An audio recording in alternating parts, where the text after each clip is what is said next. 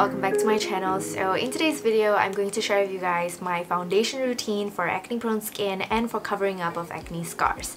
So although most of the time I'm not bothered by how my skin looks and most of the time I'm just barefaced, sometimes I just need this, you know, for important events, for filming, and for the days where I'm insecure about my skin. So ever since I developed this foundation routine for myself, I realized that my confidence level has increased so much because I know that I will always have this routine to help keep my skin looking matte and flawless for the entire day. There are two main points about this foundation routine which I feel makes it suitable for people with a similar skin as mine, aka oily, acne prone with acne scars.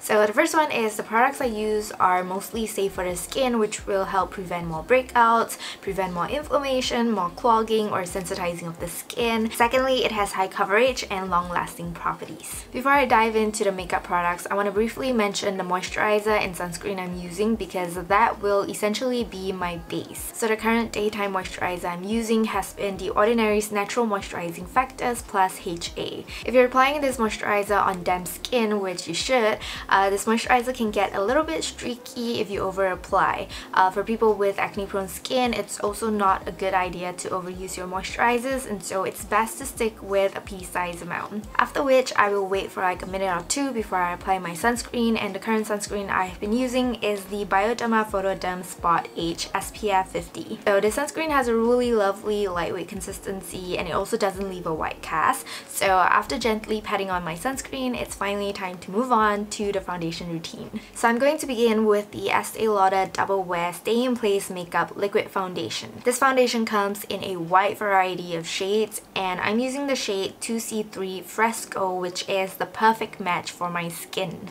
Since this one doesn't come with a pump and I refuse to spend extra money on it, uh, I can't tell you exactly how much I use because it changes every time but hopefully you can see from the footage this is roughly the amount I use for my entire face, neck as well as down to my chest. To blend the foundation, if you want something with a higher coverage, you can use your fingers, but I like to use a damp beauty blender with it. This is the only foundation that I've used in my life that has successfully kept my skin looking flawless for the entire day. Because I have oily skin, I suppose, most foundations tend to make my skin look blotchy by the end of the day, but not this foundation. Because this foundation has high coverage, there is absolutely no need for you to apply a super thick layer of it. Um, I feel like with this foundation alone, it is able to conceal at least like 70% of my acne scars and for me, I feel like that's good enough because I'm gonna go in with a concealer later on anyway. Finally, my favorite thing about this foundation is that it is formulated to help control excessive sebum production. It is oil-free, it is fragrance-free, it is alcohol-free and paraben-free, which makes it safe and non-comedogenic for the skin and therefore guilt-free to wear. Even though it feels like this just sticks onto your skin, it dissolves and comes off easily with micellar water and I like to ensure that the cotton pad comes out clean before I move on to cleanse with my facial cleanser. To conceal the remaining of my acne scars, I will use the Benefit Boi-ing Industrial Strength Concealer.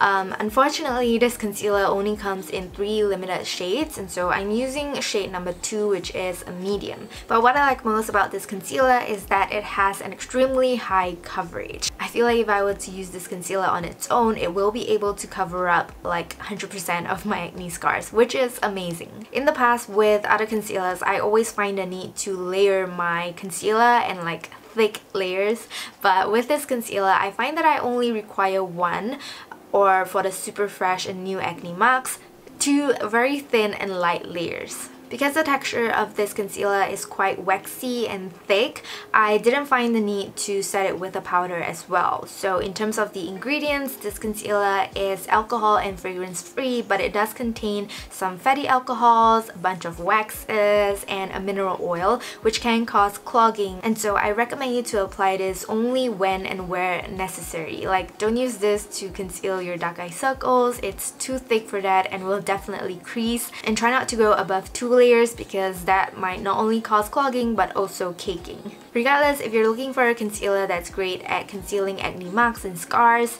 check this one out. The final step and product is optional, not that necessary, but I like to just think of it as an insurance for my foundation routine. So the very last product I want to mention is the PurePressed Base Mineral Foundation from Jane Iredale. This product is highly raved by a skin coach that I used to follow. Her name is Olena because this is non-comedogenic, it is safe for the skin, and it also has high coverage. If you want to know more details about this foundation, you can check out her content about it. I believe she has some videos and blog posts about this foundation. Personally, I didn't quite like using this as my main foundation and neither did I like to use this on my entire face because I find that by the end of the day, it tends to make my skin look cakey and blotchy even when I use it with a brush. So for me, I just like to use this to set and also provide some extra coverage to the areas where I have the very stubborn to conceal acne marks. So I will just lightly dab the sponge on top of those areas instead of setting my entire face with it. As I've mentioned, the first two products don't really require setting powders and so I only do this step when I'm wearing my makeup for the entire day, like from 6am to 11pm.